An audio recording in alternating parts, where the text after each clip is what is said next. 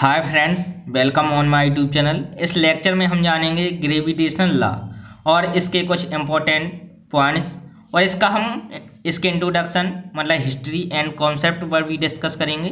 और कुछ इसकी ग्रेविटेशनल लॉ की लिमिटेशन भी है और इसका सिग्निफिकेंस क्या है वो भी जानेंगे। सबसे पहले आपने बहुत छोटी क्लासों में फिफ्थ और सिक्स में और हो सकता है नाइन्थ में भी आपने कहानी सुनी हो कि न्यूटन सो रहा था सेब के पेड़ के नीचे और सेब गिर गया। सेब एप्पल तो न्यूटन ने सोचा सेब क्यों गिरा उससे न्यूटन गुरुत्वाकर्षण के नियम की उत्पत्ति हुई। ऐसा कुछ नहीं है। फ़िलहाल इसके पीछे बहुत से साइंटिस्ट कैपलर है और टाइकुबर है। इन सब, इन्होंने बहुत वर्षों से इसका अध्ययन कर रहे मतलब इस क्षेत्र में कई वैज्ञानिकों का योगदान है। लेकिन बाद में जब बहुत 200 साल हम कहें, इसके बाद जिस न्यूटन का नियम ग्रेविटेशन लॉ का निकला है, जिसका न्यूटन को श्रेय जाता है, इसलिए इसे न्यूटन का ग्रेविटेशन लॉ बोलते हैं, ओके। तो ब्रह्मांड में यूनिवर्स में कोई भी बॉडीज हो, कोई भी पार्टिकल हो, सभी वस्तुओं के बीच क्या लगता है? ग्रेविटेशनल फोर्स लगता है। आप क्लास में बैठे हैं, दो स्टूडेंट हैं, चाहे गर्ल्स हो या बॉयज़ हो या टीचर हो, सबके बीच में ग्रेविटेशनल फोर्स लगता है। हम यही बताएँगे अब कहो सर, हमारे बीच में ग्रेविटेशनल फोर्स लगता है लेकिन फिर भी हम आपस में चिपकते नहीं हैं, क्यों? इसका भी कुछ रीज़न होगा। ग्रेविटेशनल फोर्स लगता है हाँ लेकिन हम चिपकते नहीं हैं, इसका रीज़न आप जान लेंगे। ओके? और तो चलते हैं। ब्रह्मांड में जितनी भी पार्टिकल हैं बॉडीज हैं पेंड हैं, जित अर्थ और इसकी लिमिटेशन भी है, हम वो ही बता देंगे। ओके? चलते हैं अपने कॉन्सेप्ट की ओर। ब्रह्मांड में यूनिवर्स में जितनी बॉडीज हैं, एक दूसरी को अट्रैक्ट करती हैं। एक बॉडी दूसरी बॉडी पर जितना फोर्स लगाएगी, दूसरी बॉडी भी पहली बॉडीज पर उतना ही फोर्स लगाएगी। जो आपने शायद न्यूटन का थर्ड जो थर्ड ला था, उसमें जाना भी होगा एक्शन रिएक्शन फोर्स एक वस्तु दूसरी वस्तु पर जितना फोर्स लगाती है दूसरी वस्तु भी पहली वस्तु पर उतना ही फोर्स लगाती है। ओके और जो दो पार्टिकल्स या दो बॉडीज के बीच में जो फोर्स लगता है, वो कितना फोर्स लगता है, वो हम इसमें जानेंगे ओके आगे सबसे पहले हम इसका डेफिनेशन है, वो जान लेंगे। किन्हीं भी दो पार्टिकल्स या दो बॉडी के बीच में जो फोर्स लग रहा, एक पार्टिकल हमने इधर ले लिया एम वन एक पार्टिकल इधर है एम टू ओके इनके सेंटर से और इस सेंटर के बीच की जो डिस्टेंस है वो स्मॉल आर है, जो इन दोनों पार्टिकल्स के बीच में फोर्स काम कर रहा है। मतलब जे पार्टिकल इस पार्टिकल को अपनी ओर अट्रैक्टिव कर रहा है okay okay M one mass के कारण एम टू पर लगने वाला फोर्स कितना होगा? एफ़ टू वन ओके और एम टू जो मास है, वो एम वन पर फोर्स लगाएगा, अपनी ओर अट्रैक्टिव करेगा। कितना फोर्स लगेगा? एफ़ वन टू वैक्टर तो एम वन और एम टू दो पार्टिकल्स हैं, इनके बीच की डिस्टेंस आर है। इन पर कितना फोर्स लग रहा है? ग्रेविटेशनल फोर्स तो इनके बीच में जो लगने वाला ग्रेविटेशनल फोर्स होता है एम वन मास और एम टू मास मतलब दोनों पार्टिकल के मास के प्रोडक्ट के प्रोपोर्शनल होता है। और दोनों बॉडीज के सेंटर जो बीच की डिस्टेंस होती है, उसके स्क्वायर के इन्वर्सली प्रोपोर्शनल होता है। ओके तो ये डेफिनेशन है each body in the universe attracts every body with a force जो फोर्स होता है, ये डायरेक्ट प्रोपोर्शनल होता है product of mass of the particle and inversely proportional होता है square of distance between them okay उन दोनों कणों के बीच की दूरी के वर्ग कैसा होता है? व्यतकानुपाती जो इस फोर्स की डायरेक्शन होती है, ये हमेशा क्या? जो दोनों पार्टिकल को या दोनों बॉडीज को मिलाने वाली रेखा की कैसी होती है? अंदस होती है। ऐसा नहीं है कि मान लो एक पार्टिकल एक इधर है, एक इधर है। ये हमेशा एक दूसरे को जो हम बीच इस मिलाने वाली रेखा है, इसकी अंदर अट्रैक्शन करेंगे, ना कि ऐसे करें, ना कि ऐसे करें। ऐसा नहीं है। हमेशा इसलिए जो इसकी दिशा, इसको हम अभी बताएँगे क्यों? जो सेंट्रीपिटल फोर्स होता है, जो सेंट्रीपिटल फोर्स होता है वो हमेशा एक निश्चित बिंदु की ओर लगता है, ओके। और उस बिंदु से जिस पार्टिकल पर उसकी बीच की डिस्टेंस पर भी डिपेंड करता है, ओके। तो जिस सेंट्रीपिटल फोर्स इस कारण इसकी दो पार्टिकल्स की मिलाने वाली रेखा के अंदर इसकी दिशा होती है। तो हमने अभी क्या बताया कि दोनों पार्टिकल के के बीच जो लगने वाला ग्रेविटेशनल फोर्स है, दोनों पार्टिकल के मास के प्रोडक्ट के कैसे होता है प्रोपोर्शनल होता है। और दोनों और दोनों पार्टिकल के जो बीच की डिस्टेंस है, उसके स्क्वायर के रेसिप्रोकल होता है। इक्वेशन फ़र्स्ट कह दो इक्वेशन सेकंड ओके इन दोनों को मिला के लिख देंगे तो कितना आ जाएगा? F proportional M one into M two upon में आर स्क्वायर ओके जो प्रोपोर्शनल का साइन हटाएँगे, एक एक इधर हम कांस्टेंट लगा देंगे तो आ जाएगा F equal G M one into M two upon में आर स्क्वायर ओके तो हम ये ग्रेविटेशनल फोर्स है जी एक कांस्टेंट है ओके तो जी एक कांस्टेंट इसको हम क्या बोलते हैं? ग्रेविटेशनल कांस्टेंट गुरुत्वाकर्षण नीतांक ग्रेविटेशनल कांस्टेंट हम इस ग्रेविटेशनल कांस्टेंट को बहुत जगह लिखा रहता है जी यूनिवर्सल कांस्टेंट यूनिवर्सल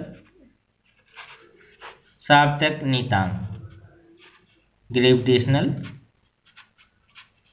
कांस्टेंट आपने देखा होगा जो ग्रेविटेशनल कहीं कहीं लिखा रहता है यूनिवर्सल इसको यूनिवर्सल ग्रेविटेशनल कांस्टेंट क्यों कहते हैं? इसका भी कुछ रीजन होगा। जो जी की वैल्यू होती है, वो six point six seven into ten to the power minus eleven newton into metre square per kilogram square इसकी वैल्यू होती है जी की वैल्यू ओके तो जी की वैल्यू तो ये होती है ओके तो जी की वैल्यू जे आप यूनिवर्स में किसी भी स्थान पर जी की वैल्यू एक सी रहती है चेंज नहीं होती है। जे ना तो टेम्परेचर पर डिपेंड करती है नॉट डिपेंड ना जे टेम्परेचर पर डिपेंड करती है कि टेम्परेचर कैसा है, सर्दी पर रही या गर्मी पड़ रही, उससे कोई इफ़ेक्ट नहीं पड़ता इस ग्रेविटेशनल कांस्टेंट पर। ना पार्टिकल्स की नेचर पर डिपेंड करता है कि पार्टिकल्स बड़ा है या छोटा है। ओके ग्रेविटेशनल ये कांस्टेंट उसकी वैल्यू फिक्स रहेगी। ना मीडियम पर डिपेंड करेगा कि आपका मीडियम वाटर है एयर है या वैक्यूम है। ओके तो इसलिए इसको यूनिवर्सल ग्रेविटेशनल कांस्टेंट कहा जाता है। ओके और हम इसको वेक्टर फॉर्म में जानेंगे। इसका वेक्टर फॉर्म क्या होता है? आगे हम इसके कुछ फैक्ट्स जान लेते हैं इंपॉर्टेंट जो हमने आपको शुरुआत में हिंट्स में बता दिया था। सबसे पहले चर्चा करते हैं? जो क्या है? एक सेंट्रीपिटल फोर्स है। क्या है? सेंट्रीपिटल फोर्स सेंट्रीपिटल फोर्स क्यों है? क्योंकि जो सेंट्रीपिटल फोर्स होता है, हमेशा एक फिक्स्ड पॉइंट की ओर या उससे दूर लगता है। ओके? और उस फिक्स्ड पॉइंट से जो पार्टिकल है, उसके बीच की डिस्टेंस पर डिपेंड करता है ओके ये सेंट्रीपिटल फोर्स इसलिए क्योंकि हम जो दो बॉडीज होती हैं ओके इन दोनों बॉडीज के सेंटर की जो बीच की डिस्टेंस होती है, जो इनको मिलाने वाली रेखा होती है, जो फोर्स की डायरेक्शन होती है, इनके अलोंग होती है। इसलिए इसको क्या बोलते हैं? सेंट्रीपिटल फोर्स कहते हैं ओके तो सेंट्रीपिटल फोर्स आप जानते हैं क्या होता? है A vector equal K upon में आर स्क्वायर आर कैप ये क्या है? सेंटीपिटल फोर्स या इस प्रकार से भी F vector F of R R के एफ़ ओके और ये हमेशा एक दूसरा पॉइंट ये हमेशा अट्रैक्टिव होता है। कैसा होता है? अट्रैक्टिव होता है। ये जो ग्रेविटेशनल फोर्स है, ये हमेशा दो बॉडीज के बीच के अट्रैक्शन अट्रैक्शन होता है इनमें। ऐसा नहीं कि रिपल्सन होता हो। अट्रैक्शन ये अट्रैक्शन नेचर का होता है। या अट्रैक्शन नेचर का होता है, इसलिए के की वैल्यू क्या हो जाती है? नेगेटिव यदि के सेंटीपिटल फोर्स में आपने, मैंने प्रीवियस लेक्चर में सेंटीपिटल फोर्स पर वीडियो लेक्चर अपडेट कर दिया है अपलोड जो आपको आई बटन पर लिंक मिल जाएगी ओके तो यदि के की वैल्यू नेगेटिव होती है तो कितना हो जाता? माइनस के अपॉन में R square R K okay तो ये अट्रैक्ट अट्रैक्शन नेचर का होता है, ये हमेशा दो बॉडीज को क्या करता है? मान लो एक बॉडी जे है एम वन एक एम टू है। जे इसको अट्रैक्शन करेगा जे इसको अट्रैक्टिव करेगा। तो ये कैसी है? अट्रैक्शन नेचर है ना? अब जानेंगे थर्ड पॉइंट थर्ड पॉइंट में जे जे किसी भी मीडियम पर डिपेंड नहीं करता है कि मीडियम कैसा है okay force gravitation gravitational force is independent of medium medium पर डिपेंड नहीं करता है ओके चाहे आप जल में रहें या थल में रहें, वायु में रहें, कहीं भी रहें, मान लो आप क्लास में बैठे हो, आपके बीच में जो ग्रेविटेशनल फोर्स लग रहा तो उतना ही लगेगा आपकी अगर डिस्टेंस कौन, हम इधर अगर आपकी डिस्टेंस टू मीटर ले रहे हैं, दो मीटर आप चाहे जल में दो मीटर ले लें तो ग्रेविटेशनल फोर्स उतना ही लगेगा ओके इसलिए जो मीडियम पर डिपेंड नहीं करता है। और फोर्स जो आपने पढ़ा भी होगा न्यूटन का जो थर्ड लॉ होता है, एक्शन रिएक्शन लॉ। आपने जो हमने पहले बता दिया जो बॉडी पर फोर्स लग रहा था। M one body M two body पर फोर्स लगाती थी एफ़ टू वन वेक्टर और एम टू बॉडी है, वो एम वन पर कितना फोर्स लगा दी एम वन इसको हम लिखते कैसे हैं? मैं एक आपको ट्रिक बता देता हूँ एफ़ पर के ओके? और दशा दशा कैसी होती है? के की ओर। आप, हमने कहा एम वन पर एम टू के कारण लगने वाला बल तो पर किसके पीछे आया? वन किसके कारण? टू के कारण।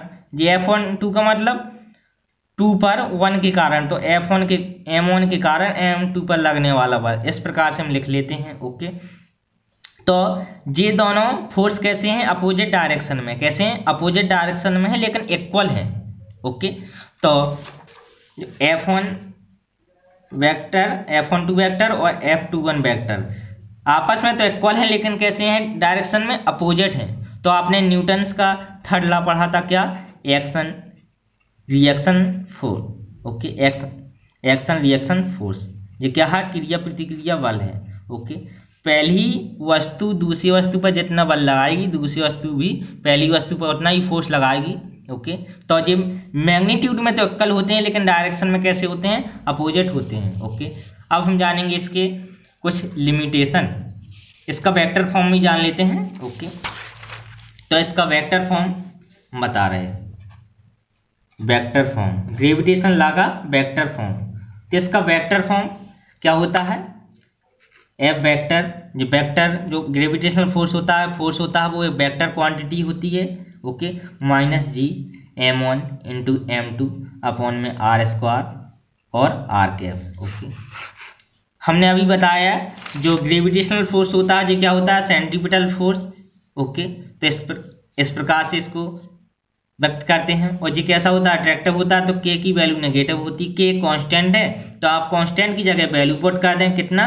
Constant G M one M two mass भी कांस्टेंट होंगे और ग्रेविटेशनल कांस्टेंट भी कांस्टेंट होगा upon R square R K बन गया ना वेक्टर फॉर्म इसलिए हमने बाद में वेक्टर फॉर्म बताया था। तो ये हमने वेक्टर फॉर्म बता दिया। अब हम चलते हैं इसकी कुछ लिमिटेशन भी होती हैं। जी केवल पॉइंट मासेस के लिए वैलिड होता है। Valid for point masses okay. ये केवल बिंदु आवेशों सॉरी द्रव्यमानों के लिए वैलिड होता है। अब आप कहो कि सूर्य सन और अर्थ में भी ग्रेविटेशनल फोर्स लग रहा स्टार स्टार्स में ग्रेविटेशनल फोर्स लग रहा सर ऐसा क्यों? हमने तो कहा पॉइंट मासेस के लिए है। ऐसा हो ऐसा आप सोच रहे हैं, हम इसका भी आपको समाधान बता रहे हैं। जैसे मान लो दो स्टार हैं, तारे हैं, ओके? उनके बीच में ग्रेविटेशनल फोर्स लग रहा। लेकिन वो दोनों तारे स्टार इतने डिस्टेंस पर हैं कि वो एक दूसरे को कैसे नज़र आते हैं सूक्ष्म। जब जैसे आप देखते होगे, जैसे आपसे दूर, बहुत दूर एक वस्तु रखी तो वो आपको कैसी दिखाएगी? बिंदु आकार की पॉइंट आकार की। तो वो पॉइंट चार्ज की तरह अब काम करेगा। तो जब पॉइंट चार्ज की तरह काम करेगा तो पॉइंट मास के लिए जो कैसी है? बैलेट तो उन दोनों स्टार के लिए कौन सा फोर्स काम करेगा? ग्रेविटेशनल फोर्स लगा। कहने का मतलब वो, जैसे आप, आपने कहा कि हैवी बॉडी चलो, मान ले हैवी बॉडी पर लग रहा ग्रेविटेशनल फोर्स कब लगेगा? जब उनकी आर कैसी हो? मैक्सिमम बहुत अधिक हो। कैसी हो? बहुत अधिक हो। जब उनकी डिस्टेंस बहुत ज़्यादा हो जाएगी तो वो दोनों बॉडी एक पॉइंट की तरह दिखने लगेंगी। जब पॉइंट की तरह दिखने लगेंगी तो उन पर कौन सा फोर्स लगेगा? ग्रेविटेशनल फोर्स लगेगा, ओके। जैसे एक मैंने कहा था, मैं आपको बाद में क्वेश्चन बताऊँगा। आप क्लास में बैठे हैं तो आप, आपके बीच भी ग्रेविटेशनल फोर्स लग रहा। फिर भी आप आपस में चिपकते नहीं हैं, इसका क्या रीजन है? जो ग्रेविटेशनल फोर्स होता है G equal M one into M two upon में आर स्क्वायर होता है। मान लो आपका हम वज़न मान लेते हैं, वेट है आपका, मान लो हंड्रेड के जी मान लिया, दूसरे का भी हंड्रेड के जी है। ओके। लेकिन जो ग्रेविटेशनल कांस्टेंट की वैल्यू है six point six seven into ten ten to the power minus का eleven newton into metre square प्रति के जी स्क्वायर होता है। आप ये समझिएगा कि जो फोर्स होगा, वो कितना होगा? Six point six seven into ten to the power minus eleven into hundred into hundred upon में मान लो आपकी क्लास में डिस्टेंस टू मीटर है, ओके? तो आप इसको कैलकुलेट करोगे तो कितना आएगा? Six, point six seven upon में two into ten the power कितना आ जाएगा? सेवन। अब ये आप बताइए, आपके दोनों के बीच में जो क्लासमेट हैं, उनके बीच में फोर्स कितना लग रहा है? टेन की पावर माइनस में है। माइनस माइनस का मतलब समझते हो, point zero zero zero zero one. तो आप जो फोर्स है, वो बिल्कुल नेग्लिजिबल है नगण्य। इसलिए आपको पता नहीं चलता है, आपके बीच में ग्रेविटेशनल फोर्स लगता है। लेकिन हाँ भावनाओं का लगता है ओके जैसे अगर हम बॉडी जैसे हम सन और अर्थ की बात करें, इनके बीच में ग्रेविटेशनल फोर्स लगता है। आप कोई भी गैलेक्सी में स्टार हैं प्लेनेट्स हैं सैटेलाइट हैं, आप किसी की बात करें, जो सन और अर्थ का मास होता है, ये टेन टू डी की पावर फोर की रेंज में पहुँच जाते हैं। जब टेन टू डी का फोर ट्वेंटी फोर की रेंज में पहुँच जाएँगे तो इसका जो फोर्स होगा वो कितना हो जाएगा? अब जो टेन टू दिया प्लस की पॉजिटिव में आएगी तो ग्रेविटेशनल फोर्स की वैल्यू कैसी होगी? एक।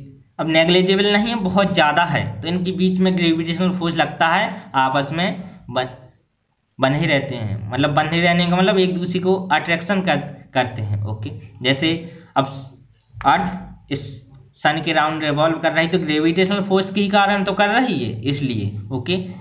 तो अब हमने लिमिटेशन जानी। अब हम जानेंगे सिग्निफिकेंस इसका सिग्निफिकेंस क्या है?